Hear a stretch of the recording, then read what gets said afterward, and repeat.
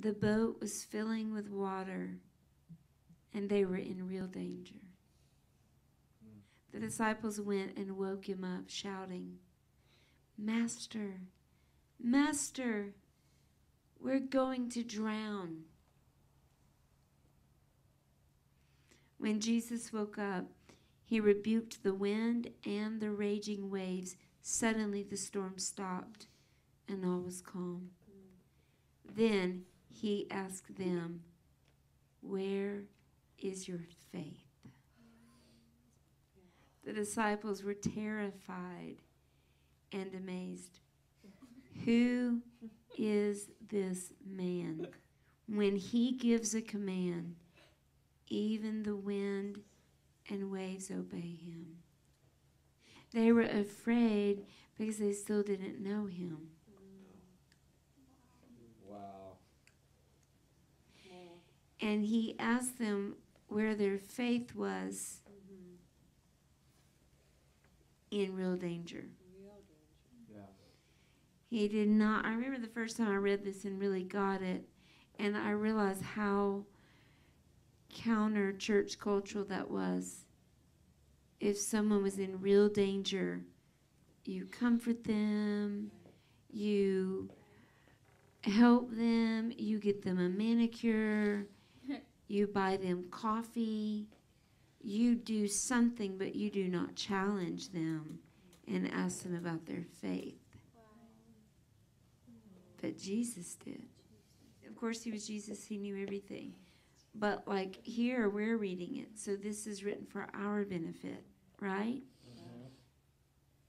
Part of why he asked them, Where's your faith? is because out of their hearts, their mouths spoke, We are going to drown. They believed they would drown. It wasn't just their fear. It wasn't just their fear, see. It was their faith. Their faith was in the danger. They were they were with Jesus and in danger. Their faith was in the danger. Where is your ah! faith? It was in the danger. Otherwise, they would have woke him up and said, "Save us." What comes out of our mouth is what's in our heart. So I'm just looking at what came out of their mouth was what they believed. He rebuked the wind and the waves, and then he rebuked them because it's true. He and and here's why he rebuked them. The reason he would challenge them the way he did is because even though they were in real danger with a storm, that was only a danger to their temporal lives. The real danger was the unbelief. And that's why he addressed it.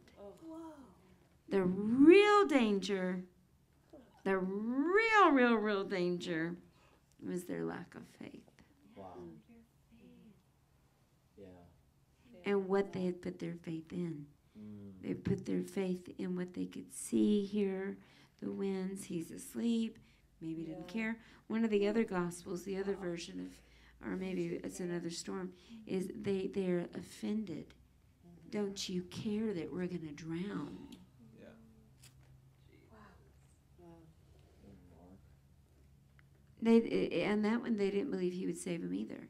They were just mad at him that he didn't care. They, they, they were going to die. We're going to die. You didn't even care. Offended that he didn't care. Instead of waking him up or laying down with him. So take a minute and ask yourself, where's your faith? Look at your life right now. Is your faith in the danger or in your Savior?